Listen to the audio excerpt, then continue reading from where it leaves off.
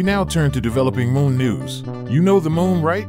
That big round thing in the sky that sometimes looks like a cheese wheel or a cookie or a smiley face. It's wobbling, yeah, you heard me, it's wobbling like a drunk guy on a unicycle. Well, I'm not a wobble scientist, but according to a new study by NASA, the moon is going to cause some serious trouble for coastal communities in the US in the next decade. You might be thinking, what's the big deal? We've seen high tides before. Well, the problem is that the sea level is also rising because of climate change. And that means that the next time the moon wobbles, which will be in the mid 2030s, the high tides will be even higher than usual.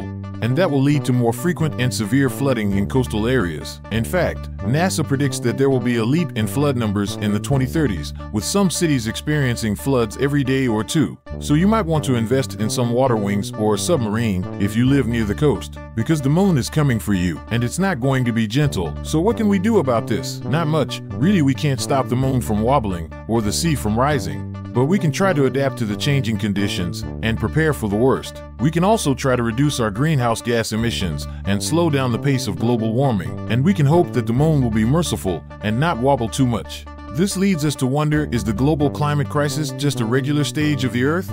We are certainly harming the environment with our irresponsible activities and Friday night tire fires, but are we the sole culprits? Is the climate crisis merely presented as a human caused issue to soothe us as fragile creatures?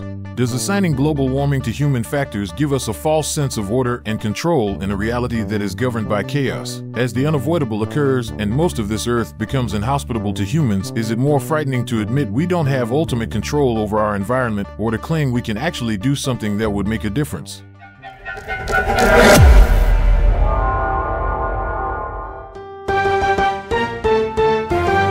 Thank you for watching Limited Intel News Hour, interspectral and dimensional travel for SVTV Earth Realm 369 edition was provided by Magical Time Gravy and Limited Intel Podcast, a division of Limited Intelligence Earth Technologies.